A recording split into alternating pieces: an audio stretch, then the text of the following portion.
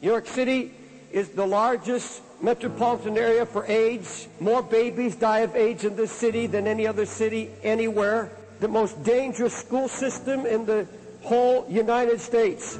He will do nothing in the way of judgment until he warns his servants.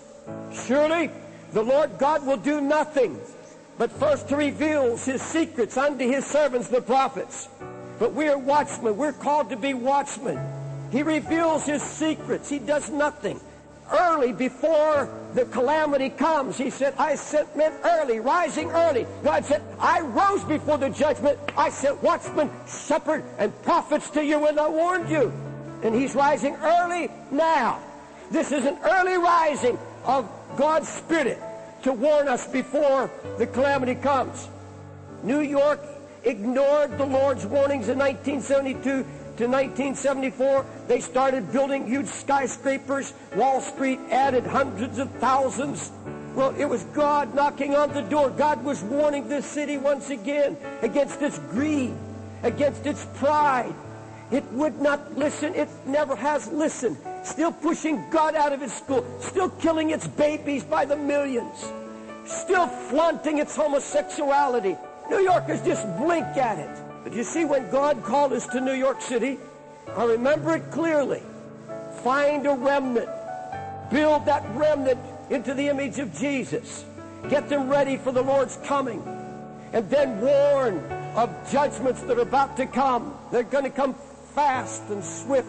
And before they come, I'll warn you. I'll tell you. And you must warn. And God spoke to all of our hearts. Yes, that's the mandate. And we see a church here now full of people walking in the image of Jesus. We are beginning to see a remnant, not just in this church. God has a remnant in this city, in many churches, filled with the Holy Spirit, loving Jesus with all their hearts. But now it's time to warn more than ever. There will be more and more warnings, prophetic utterances. God loves his people. He loves his church. And because he's so concerned about us, so loves us, he'll talk to us about our neighborhoods, about our going on the subways, the buses, the trains.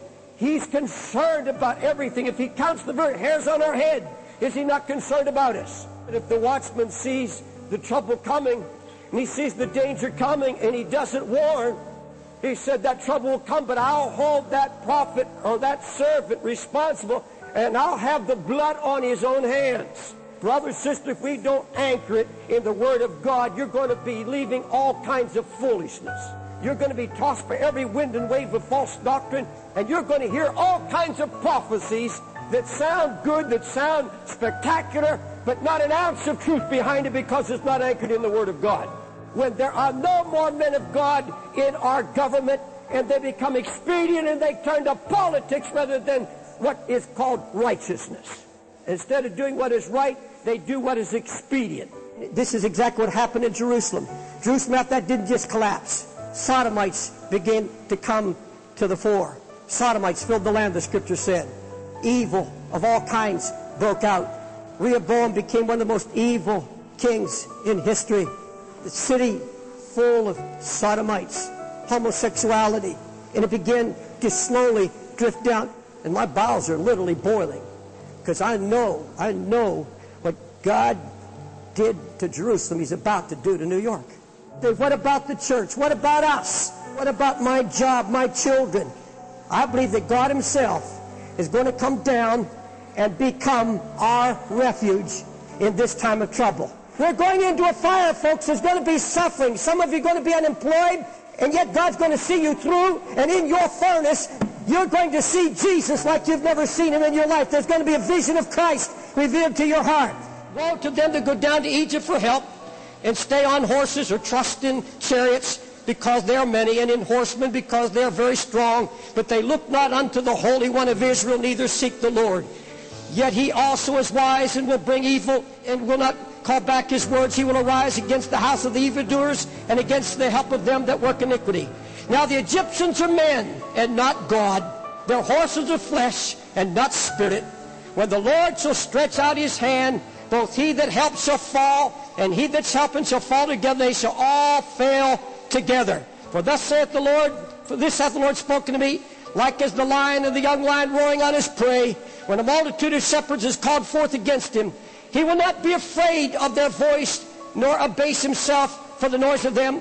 So shall the Lord of hosts come down to fight for Mount Zion and for the hill thereof. God shall come down and fight for Zion. Hallelujah. Beloved, get this in your heart good. Thank God for America. Thank God for New York. Thank God for your home. But you and I are born in Zion. This is not our home. We are foreigners. We are strangers. We are aliens. We are passing through. You have the Holy Spirit. And God says, I will never leave you. I'll never forsake you. I'll go with you to the end of the world. And he'll not let you starve. Somewhere, somehow, God is going to come down and he is going to fight for Zion. And nobody going to stick a knife in your back.